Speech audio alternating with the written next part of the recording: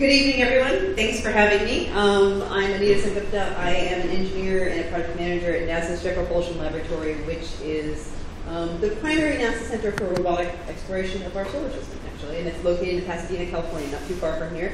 So I'm going to be talking to you tonight specifically about Mars exploration and the Curiosity mission, uh, Mars Science Laboratory mission, which landed with Curiosity rover. And my role in the mission was actually working on developing the entry, descent, and landing system, primarily the parachute system and then a portion of the skycrane system. But I'll give you an overview of the entry, landing system, how that entry, landing system performed, and some of the science results that we've collected from the rover to date. But first, I want to start with a really cool movie that we made um, in support of the landing, which was on August 5th of this past year, and it's called Seven Minutes of Terror, because it takes around seven minutes get from the top of the atmosphere down to the surface of the planet. That video actually went viral. Some of you might have seen it, some of you have not seen it. Um, but you can download it on YouTube if you're interested. But I'm going to play it. It's a lot of fun.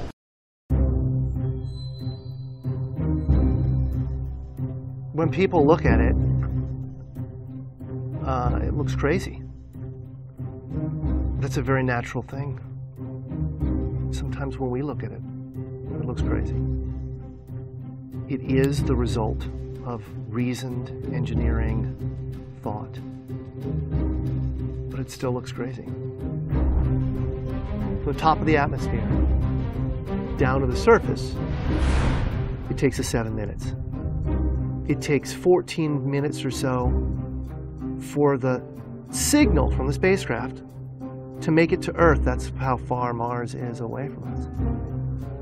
So when we first get word that we've touched the top of the atmosphere, the vehicle has been alive or dead on the surface for at least seven minutes.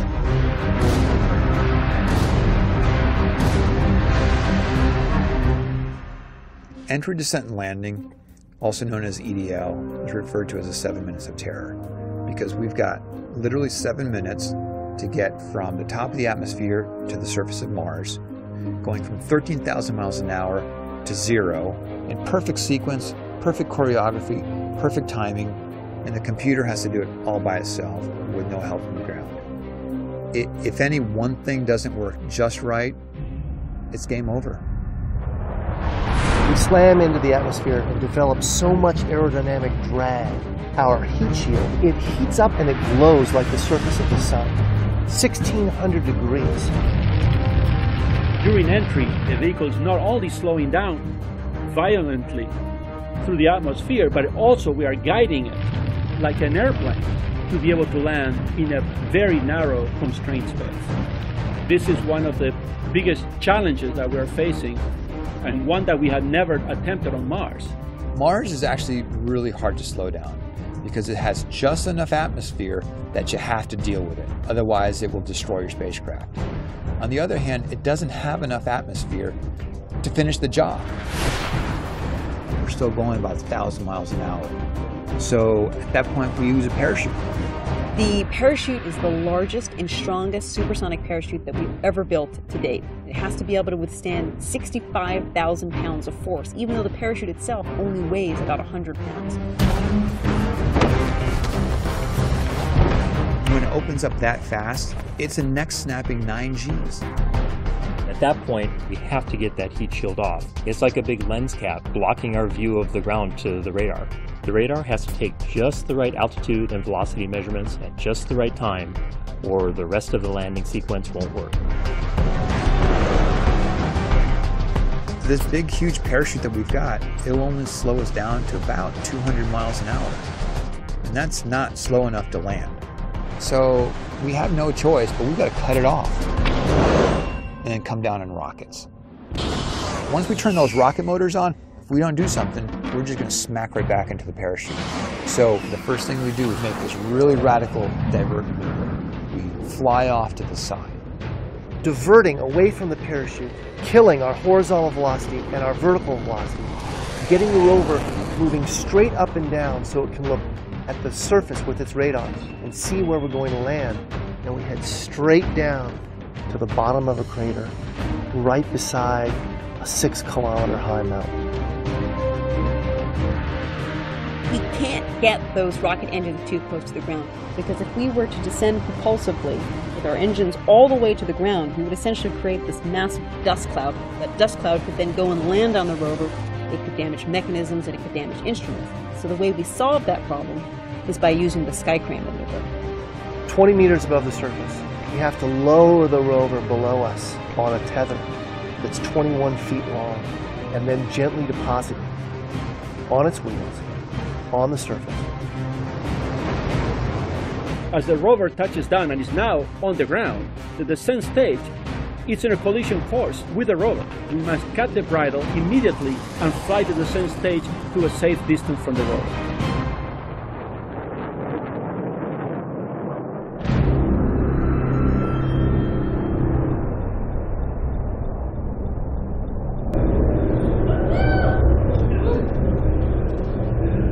So as you know, it worked. So that was pretty exciting for us. So we did land the rover on August 5th of 2012, and it was a major accomplishment for us at JPL, for NASA, for the United States, and I would argue for all of humanity, because now we've landed essentially a car-sized robotic geologist on the surface of Mars searching for evidence of past and present habitability. Uh, it was a major technological challenge, um, and it was a major technological success. But first, what I wanted to talk about is people want to know why do we explore Mars? And the reason why we explore Mars is that Mars, Venus, and Earth are all called terrestrial planets. And what that means is that the formation of the solar system, we believe that they were more similar to each other. And we actually believe that Mars, like Earth, was once warm and wet. But today, obviously, Earth is a wonderful place. We all live here. There's oceans on the surface. There's a nice thick atmosphere where life forms all over it. But Mars is a dry, dusty, cold planet with a very thin atmosphere. So we want to understand how did the planet Mars evolve the way that it did? When it was once warm and wet, could it have supported life? Does it still support life today? And the way we answer those questions is by sending spacecraft to both orbit Mars as well as rovers and landers to explore the surface of the planet. And so that's what we do at NASA. That's what a lot of the other space agencies are attempting to do as well. Now, a second reason for exploring Mars is could we potentially one day colonize the planet? So everyone knows Earth has limited resources. We're always looking to uh, potentially go live on another planet. And as it turns out, Mars really isn't that bad. It, of course, has a very thin atmosphere, but it does have an atmosphere as opposed to outer space, which is essentially a vacuum environment. It does have gravity, about one-third Earth gravity, so our bodies would have to adjust to the lower gravity environment. It's not as bad as a zero-G environment. The temperature range, it does get very cold, minus 120 degrees Fahrenheit in the wintertime at night, but you can get times on the surface of Mars temperature is close to a California um, wintertime temperature. So the real problem with Mars, of course, is the atmosphere is made of carbon dioxide, so we have to bring our own air supply. The atmosphere is very thin. It's one one hundredth of what the surface pressure of Earth is, which means you have to live in pressurized habitats, pressurized rovers, or wear pressure suits to exist on the surface. That being said, it's still a more benign environment than our own moon, which has a very difficult radiation environment because of its proximity to the sun. And it has no atmosphere, and even living in orbit around Earth, which is a vacuum environment, so you have to constantly live um, in a pressurized vessel with no access to resources on the surface of the planet. So both understanding how life evolved on Earth, how life could potentially have formed on Mars, and understanding what the future possibilities for human colonization could be on the planet, we want to explore Mars and understand more about it. But from a planetary science perspective, well, unfortunately these colors don't come out good on um, this particular printer, but you don't need to read the text. Um, the purpose of this slide is to show you that Mars had a really fascinating geological history. And the picture you see on the upper right is Olympus Mons. It's an extinct volcano on Mars, about three times the height of Mount Everest. So you can imagine the type of volcanic activity which once existed on the surface of the planet that could create a mountain that high. But now those volcanoes appear to be extinct, and we don't understand why. Another really fascinating surface feature is Valles Marineris, which is the scar which goes to the center of the planet. And that's Mars's version of the Grand Canyon, about six times as deep as the Grand Canyon. And we all know what formed the Grand Canyon on Earth, and we believe that this also is a feature which was formed by water that flowed on the surface of the planet. But where did that water go now? Did it all evaporate? Was it frozen in the subsurface? The way we answer those questions is by sending spacecraft and rovers to explore the surface of the planet. And our mantra has always been at NASA is that you follow the water and then potentially you can find life. Because water is required, we believe, to form life. And so we've made several discoveries over the past 20 years or so about water on Mars. And there is indeed water on the surface of the planet Mars. This picture here on the lower right is a picture which was taken by our Phoenix lander, which I think was 2005 timeframe, during the landing event as the engines were basically firing into the ground, taking up all of the sand and dust, actually exposed saltwater ice just beneath the surface, which means that there's tons of water which is frozen in a saltwater state closer to the polar regions of Mars. More recent finding was made by the Mars Reconnaissance Orbiter, which is a spacecraft which is constantly in orbit around Mars, takes wonderful, beautiful, high resolution images of the surface. We've actually identified what we believe to be active water flows on the surface of Mars. This is the side of cliff face on Mars, these little black streaks that you see, we believe is water flowing down the sides of cliff faces, which means that there are subsurface aquifers on the planet. And as the planet heats up, with its tilts on its axis during the course of its transit around the sun, that water melts and actually comes at the sides of these cliff faces. Another feature is up here, which is similar, another cliff face, and we actually observe this seasonally with a HiRISE instrument on the Mars Reconnaissance Orbiter, which we believe to be water flows on the surface of the planet. So this is a really interesting recent finding, and the implications are, wow, there's water there. Could there be some kind of organic material in that water? We'd like to go there. And then if we were to send people to the planet, could they actually make use of that water to live and to survive, to, to drink, and to grow plants and things like that a in a pressurized environment? But the difficulty of going to Mars is in part to get there. It's quite far away. It takes anywhere from seven to nine months to actually get there. But the real challenge of Mars is landing on the surface of the planet because you have this large gravitational well, because the planet is relatively big, but you also have an atmosphere, which you can use to help slow you down, but can also burn you up and fry you to a crisp, like you saw in the Seven Minutes of Terror movie. And at this particular point in time, only the United States has actually successfully landed on the surface of Mars. The Russians tried and failed, the Europeans tried and failed. So only the United States has been successful um, seven out of the eight times it attempted. The first was in the late 1970s with the Viking, land, Viking landers 1 and 2, which is the image you see over there. We then, about 20 years later, picked it up again and developed the Mars Sojourner rover, which was a tiny little rover, which we landed in the mid 1990s. And in the upper right is a picture of the Mars exploration rovers, which we landed on the surface of Mars in the early 2000s. And so we developed these technologies over the years at NASA, basically leveraging from each mission to improve our capabilities, to improve the amount of mass that we can land on the surface, thereby improving the amount of science that we can return um, for NASA and for humanity. And so this is a nice picture which shows you the evolution of rover technology over the past um, 20 years or so that we've been developing at NASA with the tiny little Sojourner rover, which was in the mid 1990s, to Spirit Opportunity, to now the Curiosity rover. And Curiosity is a very large rover, about the size and the weight of a compact car. We always like to say Mini Cooper, that's a good reference for everybody. But it's a massive, um, sophisticated robotic geologist, which allows us to make very unique measurements on the surface of Mars, which I'll be talking about a bit later. But the challenge, of course, with sending something this big to Mars is landing it on Mars. And so that was the job of our entry, and landing team um, at JPL and a variety of other NASA centers that we worked with over the course of around a seven to nine year period. That's how long I worked on it for about seven years. And so the goal of the Mars Science Laboratory mission is actually to determine whether or not Mars could have been a habitat for life specifically to determine if conditions existed in the past which could have supported habitability, which could have supported microbial life forms on the surface. And we do that with this very sophisticated scientific payload, which I'll talk about in a little while. But first, to the landing, that's what I work on, I'm an engineer, not a scientist. And so we have to have this big hunk of metal land safely on the surface of the planet, but also land it in a precise location so that we can get the scientists to where they wanted to go. And so the way we do that is we take the rover and we put it inside a drag-producing body, something called an entry vehicle. This body is designed to create aerodynamic drag because you want to slow down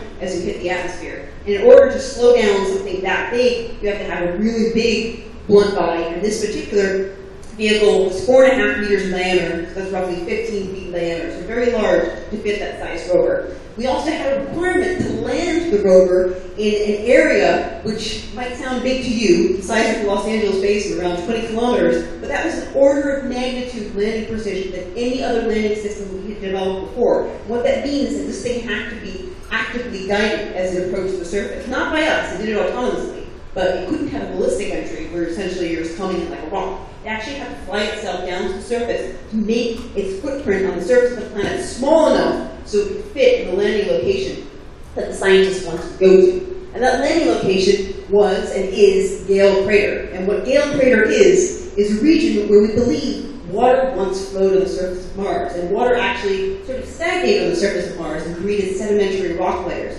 Because where better to look at the evidence of past life than in an ancient water body?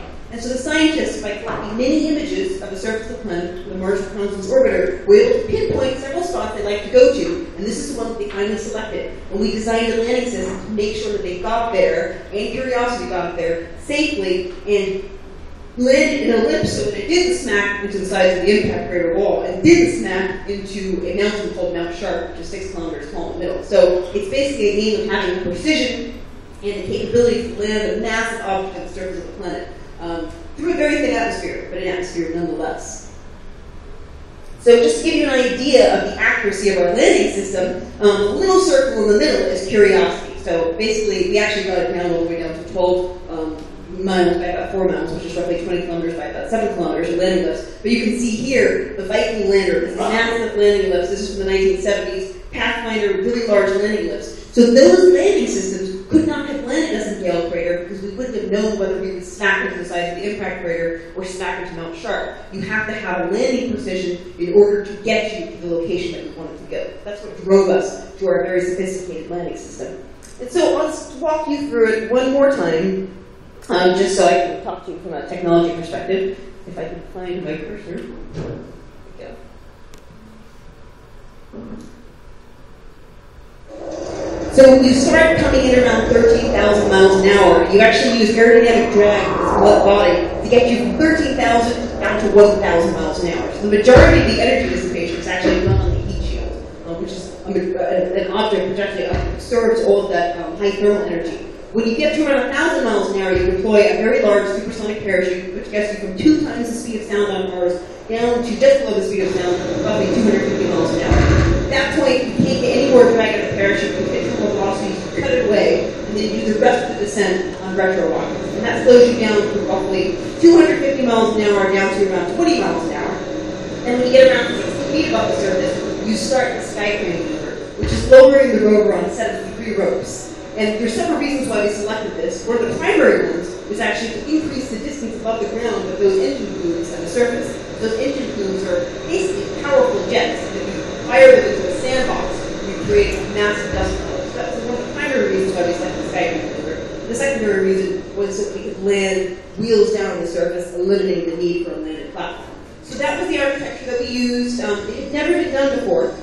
And what's important to note is that this system, because of its complexity, because of its size, and because it flies on Mars, not Earth, you could never test this on Earth end to end at a time. The first time we ever test the entry system is on landing days. That's why it's so challenging. That's why we call it seven minutes of terror, because we've spent seven years of our lives developing this system, you know, engineering the hell out of these things, each individual aspect working on it, to my particular system, the parachute system, so that we understand each phase, but we only get to piece those phases together by using an end-to-end simulation. So that's why the scary part is that you only get to do it for real on landing day. And because of the mass limitations, you can't have any redundancy in the system. So you get one parachute, every engine has to operate within spec, the heat shield has to operate within spec, or you basically smash into the surface of the planet. So that's the engineering challenge associated with this. That being said, that also makes it a really fun project to work on, right? I mean, what, what else could make your day happier than being able to get to work every day and saying, how the hell am I going to do this thing? This thing keeps blowing up on me. I need to fix this. So for us, it's challenging, but that's why we like to do. So, so for us, it, it was um, it, it, was probably probably the highlight of my career, just because you don't get to do these things every year, and then only happen roughly once every decade or so. And so this is kind of 2D representation of that entry sequence. And there was it's basically a separate engineer responsible for each one of these phases, who understood from a fundamental physics perspective what was going on with their system. And so just to give you a little brief overview of my role in the project, which was developing this parachute system, and this parachute is incredibly large because the atmosphere is really thin. The parachute is basically, um, size-wise, this is an international regulation soccer field, so basically you can fit roughly five of these parachutes inside of an international regulation soccer field. It's a really big parachute. And so, as you can imagine, it's really hard to test. Um, and so I have one fun video, because everyone always likes to see videos, and this isn't the one that blows up. This was a successful one. So we do these tests um, at around 3,000 feet altitude in the desert to make sure that they're structurally qualified for Mars. This was a successful test. We demonstrated the load that was required. But as people always ask, how do you know that that is going to be? I don't know. I guess that's not showing it for some reason. Um, the challenge, however, is that the environment on Mars is quite different than the environment on. See it. It's like here we go. So this is actually what happens to a parachute that flies on Mars. It experiences something called a supersonic aerodynamic instability, which causes it to collapse and reinflate. So the challenge was us to understand from a fundamental physics perspective what it was going to see on Mars and come up with a test program which would replicate that on Earth, which happens to be challenging, but we were able to do it. And we did it with a combination of computer simulations, and so I'll show you one computer simulation here. This is actually what's going on from an aerodynamics perspective um, to the parachute, which is causing it to collapse and reinflate. And we also built little subscale test parachutes that we tested in supersonic wind tunnels, which were able to simulate the conditions on Mars. And then similarly, we have to develop the sky crane system. This is what scared me most on the mission. People always ask me what scared you most. The part I worked on is the part somebody else was working on. Because I knew what I was doing. But, um, but this was the scary part, because the sky crane was never tested. You get to test each one of those engines in a vacuum chamber attached to an engine block, um, but you never got to fly that thing down to the surface of the planet. So that's really scary. It's mean, tremendous, um, basically guidance, navigation, and control problem challenge. So my portion of the mission actually was assessing how much um, ground erosion we were going to see because of those engine plumes exhausting on the surface of the planet. And if I can get this movie to work, I'll show you this is what happens. So what it is, an engine is fired into uh, basically a, a, Martian sandbox here, and it creates this massive explosion on the surface the. Um, and I'll show you another video in a little bit, which explains why this is problematic. But the rover itself, its primary goal is to explore um, the region in which it landed and looking for evidence of past habitability. And to give you the scale of the rover, there's me. I'm pretty small, but nevertheless, you can see how big that rover is. Six massive wheels, a tremendous um, mobility system which allows it to go over rocks which are around one meter in size, and enables it to travel on ground slope up to 30 degrees, which means it can go to really interesting locations and find fascinating scientific information. I have tons of cameras. Obviously, a lot of the information we collect is with images, in addition to some sophisticated instruments I'll tell you later. But everybody also wants to know what's the power system for this. This one did not operate off of solar arrays. It operates off of a RTG, which is a nuclear power source. It's basically a radioactive decay of plutonium, which generates heat, you to electricity, and you get a couple hundred watts of power. And that makes it less sensitive to the solar radiation environment, allows it to operate for a longer time during the day and over a longer period of the year because you're less sensitive to the sun angle. Some of the pretty sophisticated instruments that we had on board um, was a mass spectrometer, which allows you to determine both elemental composition as well as mineralogical composition, which is key to understanding the presence of organics on the surface of the We are currently looking for organics, which are the building blocks of life. And then we had other um, instruments like CheMin and LIBS to determine the chemical composition of the Martian soil and rocks. And I always like to show this picture because everyone's like, you've got a laser on board, you're blowing things up on Mars. It doesn't quite look like that, but it's funny. and, um, and then this is the other one. This is a really fun one. that went around the web for a long time. I'm not going to address the other question somebody asked me for the other one, but um, but that laser, what it actually does is it doesn't kill Martian cats, but we fire it at rocks, and then it actually explodes those rocks. They form a gas, and we look at the spectral spectroscopic signature of those rocks from a distance away to determine what the composition is. So really sophisticated um, instruments to understand the chemical and the mineralogical composition of the planet. And we also have a weather station there and a um, radiation measuring station as well. So we have a robotic arm, which is what allows us to take those wonderful panoramic shots of itself. So there's a lot of, um, you know, uh, what's it called? When people, uh, like the Capricorn one, it's like you didn't actually land there, it's how you're able to take a picture of yourself. Because we piece together the images that it takes off of the robotic arm. Um, but I worked in the mission for around seven years, and then we had a delay of two years in launch because you only get to go to Mars every 24 months to go on the minimum energy uh, trajectory. So we actually had a delay from 2009 to 2011. Uh, we installed it on the launch vehicle. We launched it in November of 2011. It was a successful launch, uh, which is obviously very successful with Marble Global Launch Pad. Um, so eight and a half months of travel, cruise to the destination of Mars, and then finally on August 5th is landing night. And we had this unique opportunity on this mission where we had a camera on the underside of the rover looking down at the surface of the planet. So the video I'm going to show you is of the actual landing um, sequence on Mars, and it starts with the heat shield falling away. So this is the rover looking down towards the surface of the planet. And what you see is the rover basically on the parachute, so it's swinging back and forth a little bit, that's what parachutes tend to do to you, and you're seeing what the rover is seeing. This is the bird's eye view. And so we're continuing our descent at this point. We're probably around 200 miles an hour at this point. What we can see is the region that we're planning on landing in. And the darkened region here we believe to be a volcanic region as opposed to that which surrounds it has more dust and soil on the surface. And you can also see a whole variety of impact craters on the surface of the planet. So because the Martian atmosphere is quite thin, you get a lot of impacts that don't get burned up in the atmosphere as you would in, the planet, a bigger atmosphere like Earth. And so what's going to happen next is we're going to come off the parachute because it gets cut away, and then we're going to start our retropropulsive descent towards the surface. And at that point, you're going to see the divert maneuver where we go off around 500 meters to the side, and then we're descending retropropulsively towards the surface of the planet. So at this point, I think we're on the retro rockets because you can see that we're no longer swinging back and forth between the parachute. These images are actually of relevance to a future technology called terrain relative navigation, we actually take the images to process what our altitude is and how to avoid hazards. Now what you're going to see is the start of the crane maneuver. The rover's wheel is fall into view, it releases the mobility system. Now you're starting to see the interaction of the gas plumes with the surface of the planet. All that gas is being kicked up. This happened around 60 feet above the surface. At this point, the rover is now being lowered on the tether, and you really can't see anymore because so much sand and dust is being generated. And it's essentially landed at this point. And the first image that came up after landing was this. The rover was demanded to take a picture of itself. And of course, when we saw this, we were ecstatic, you know, jumping and screaming in the room because this means it worked. Our great fear was that the tether would get cut and the rover would be dragged across the surface of the planet. That didn't happen, thank goodness. But so it was successful. And so this was um, us in the control room at the end of landing. So we were quite happy in our Best Buy outfits, I to say? But um, this was my very favorite picture of Lambert having a wonderful party um, afterwards. And then this image finally came in. It commanded the Mars Reconnaissance Orbiter to put itself into position to take a picture of the rover under the parachute as it descent. And so this obviously means everything was successful. The parachute looks fully formed. It doesn't have any holes in it beyond the one that it's supposed to have in it. And so this to me was, you know, icing on the cake for an evening that went relatively perfectly. These are some images of the surface planet to show you all the different pieces of the entry system as they came off. Curiosity is in the middle. That's where the sky crane crashed off the side and hit its job. The heat shield made its way over there. The back shell of the parachute over there.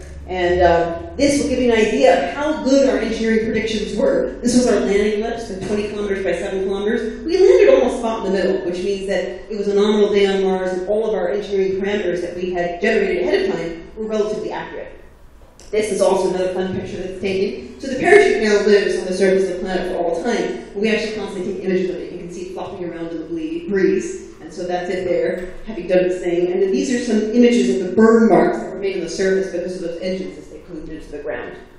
So I wanted to wrap up the talk with giving you some of the science results that we collected today. I will caveat that by saying I am not a Mars planetary scientist. I'm an engineer, so I can't tell you all the details of what this means. But with the uh, RAD um, and REMS tool, we've been able to make radiation measurements on the surface of Mars, which suggests that the radiation environment is actually more benign than we thought it was, which is good for future potential human colonization. We're making temperature, wind, and pressure measurements on the surface. You see those cycles there it's because of the diurnal variation. When the sun comes up and the sun goes down, the temperature and the pressure varies. Um, so it gets pretty warm, so it can actually get up to around 40 degrees Fahrenheit, but those would have been in centigrade, those temperatures. But, but it can get around 40 degrees where we particularly landed. Now this is the ChemCam, which is the laser instrument, the laser-induced breakdown, laser-induced breakdown spectroscopy, where we fire that laser into a rock, which allows us to determine what the chemical composition of the rock is. Um, and a really important finding that we have is that we have confirmed that the location where we landed, water did once flow there. And this is a nice picture which shows you what the base of an ancient riverbed on Earth looks like and the base of what an ancient riverbed on Mars looks like. And you see the way the rocks are formed and the way that their rocks are rounded because of the flow of water. And so that's important because we did land where the scientists wanted to go, which is the ancient water body. And this is another example of some of the surface material that we looked at where we landed, where we're actually having indication of sediment transport, so the formation of sedimentary rocks in what was an ancient water body. And the most important finding, and I would say the most recent finding, is that we confirmed that the soil that we've landed in is actually pH neutral. And so this is important because all the other places that we landed on before, we found soil that has been acidic. And all the life can grow in acidic soil here on Earth, it's very difficult, it's more toxic, you have more limitations to life that can exist there. In the landing site where we landed in Gale Crater, we see a pH neutral environment, which means that it's far more habitable for life as we know it, and, and in the range of life forms that can be supported in that environment.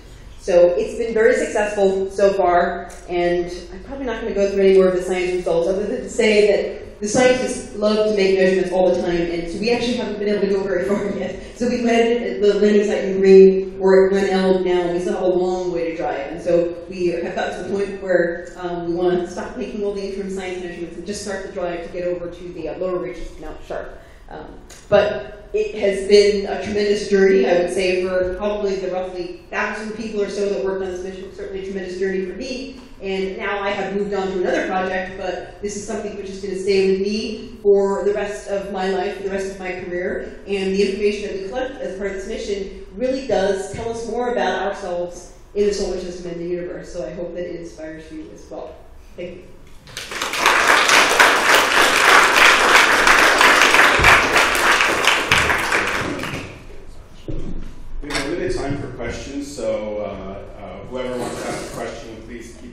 Keep and make sure it's a really good question. Feel the pressure. Anybody want to ask? Okay. What was the expected life of, of this rover, and aren't we way beyond it now? I thought it was supposed to be over a long time ago. So this particular rover has a design life of two years, or one Martian year. So the Spirit and Opportunity rovers had a design life of 90 days. And so just to give you an idea of how well we design these systems, um, Opportunity is still going for 10 years. so this particular rover is going to last a very long time, most likely. Um, so it has uh, the power supply, for example, the, the decay rate of the half-life of the plutonium is, it takes a really, really long time, so that thing's going to last for decades. That thing's not going to run out. We have redundant avionics on board, so if one computer breaks, we have the other computer to go to. Because we're not using solar panels, we don't have to worry about dust deposition, decaying the amount of power that we have. So it will probably last for many years, but the nominal design life is two years for this mission. But the RTG, the nuclear power source, does facilitate a longer design life and a more capable science mission. I know you're an engineer, awesome, but I have, a, I have one question uh, scientifically. If the soil uh, pH is uh, neutral, or as you say, um, is it possible that, have, have you guys thought of actually trying to plant or bring that soil back to try to plant to see if something would grow?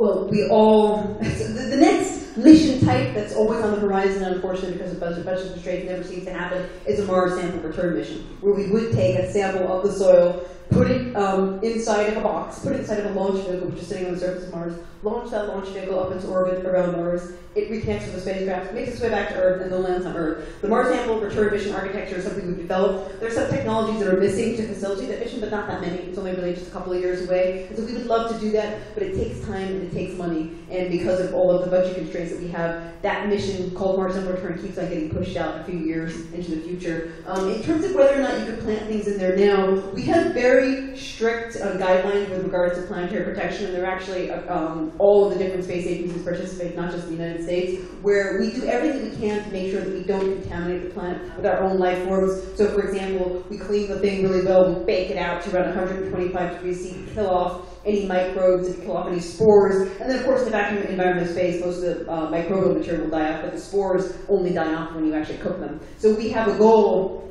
to not contaminate planets which we think would conceivably support life or may have life on it. So that being said, if we were ever to send people there in the future, then that blows that to the wind, right? And then and then you'd have to change that architecture. But right now, we've made an agreement to not do any kind of contamination on Mars, on Europa, um, on anything where we think there might be life forms. But I think back in the 1970s during the Viking lander mission, they did have something called a life detection instrument. It's very difficult to detect life, and so you just kind of set yourselves up for failure if you put an instrument on there which may or may not work, because then the public thinks, oh, well, you didn't find anything, so okay, that's a dead planet. So we we want to um, sort of take baby steps towards understanding first that there was water, next that it was habitable, making a determination if we can find organics, and then maybe the next step would be a life detection. But that's not this mission; that's a future mission.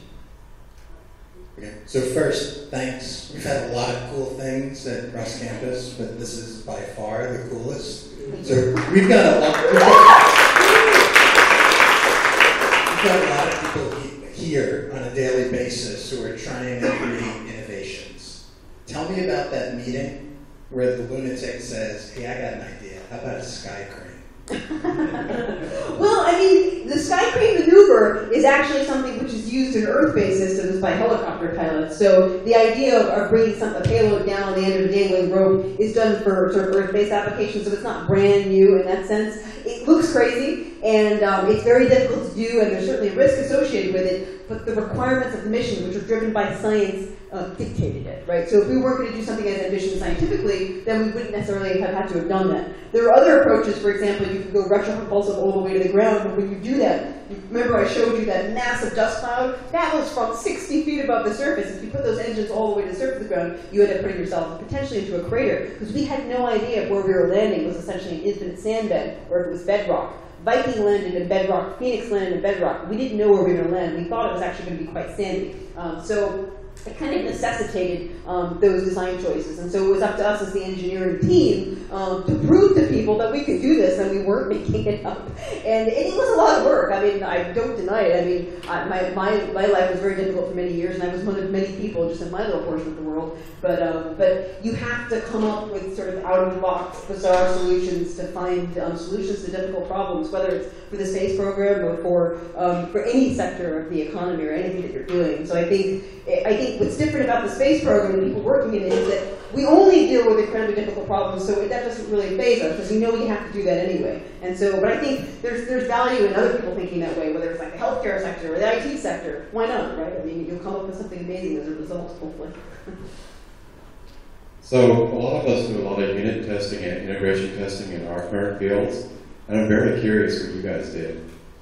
Unit testing, did you say? Yeah, unit testing and integration testing. So it's like when you've got a, thing where you don't know, you're making all these guesses. I'm sure there's a lot of interesting stories there that can help make our lives more interesting. Yeah, well, I mean, even from my own perspective on what I did, um, we had so many failures during the course of the development of the parachute. Actually, the very second test, that, you know, the very first test that we did, the parachute blew up. so if that gives you any idea of how stressful things can be. And the thing is, you learn from your mistakes, and you test, test, test until you get it right, right? Until you actually have confidence. Because we're, we're dealing with like single quantities, we can't do any sort of statistical based testing, so we can't do any lot testing, with the exception of pyrotechnics. Um, so we have to do testings where we physically understand what is going on from a fundamental physics perspective, so that we don't have to just have you know um, curve fits, where we actually have an empirical, more than an empirical understanding of what's going on. But so, for example, the heat shield material, they had a test program for about three years of looking at a whole variety of conditions to make sure that thermal protection system material survived.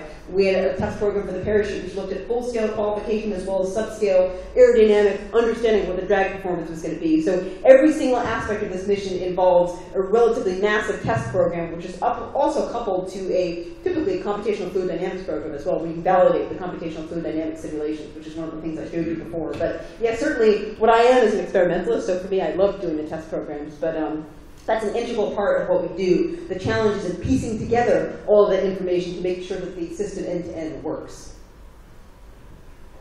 Hi. Um, I seem to remember the previous Mars lander um, uh, uh, had a, an unsuccessful uh, conclusion because someone made uh, forgot to make a conversion between like, metric and inches or something like that. Um, Am I right about that, or am I thinking about something completely So there was an orbiting spacecraft, um, which there was a unit conversion error, and so because of that, the trajectory sent it into the planet. It was actually supposed to be orbiting the planet. But there was a separate failure, which was the Mars 98 lander, where um, the thing crashed into the surface of the planet. We don't really definitively know what happened. One of the theories is that the landing leg coming down triggered the engines to cut off, and they cut off too high. So there has been one failure of a landed mission, which was the, the Mars 98 lander. Ironically, the Phoenix lander, which I think was in 2005, was the sister spacecraft that was sitting in storage for that, so we had to redesign some aspects of it. So that system ended up actually landing on the surface of Mars and working successfully, and, and so they, they, they mitigated the concern about that landing leg potentially triggering the engine to shut off. But that was because during that day, there was a better, faster, cheaper error. We actually had to cut back significantly on the amount of testing that was done. And so if we had done a good end-to-end test program there, hopefully we would have found that failure. And there was another example of that on the Genesis probe. Um, Genesis probe, which fortunately we've been able to collect the science data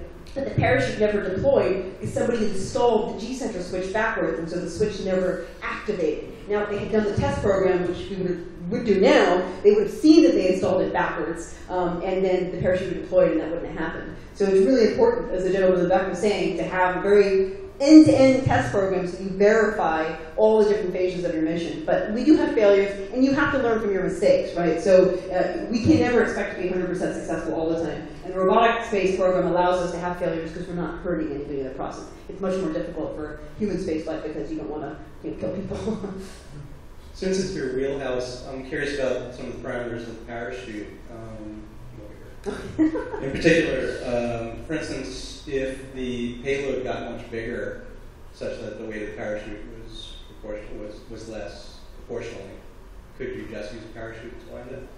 Um, no. Uh, so the size parachute that you need to land even a smaller rover like the size of MER is uh, far too big. What about it big can't be landed. Like a much What about, well, even so, Sojourner was a baby rover in comparison. Sojourner was only about that big, and we still have to have a 12 meter parachute and retro rockets for that, just because the atmosphere is so thin. But the size of parachutes, you need to have a cluster, so you need to have roughly three parachutes. And those parachutes, I don't know, I actually did the calculation, need to be like 100 feet in diameter. And um, the problem with deploying parachutes uh, supersonically is that they're really chaotic. So if you had a supersonic cluster, they would probably tangle between each other and get destroyed. So unfortunately, the atmosphere is just too thin. There's something else that you can do, which is deploy your decelerator higher up in the atmosphere at an even higher Mach number to have your deceleration go early on. That develop, that requires a generation of new aerodynamic accelerator technology, which we're actually developing now. But at the end of the day, you'll always have to have some kind of load attenuation for Mars landing, whether it's an airbag, a crushable, or retro rockets for the terminal descent phase.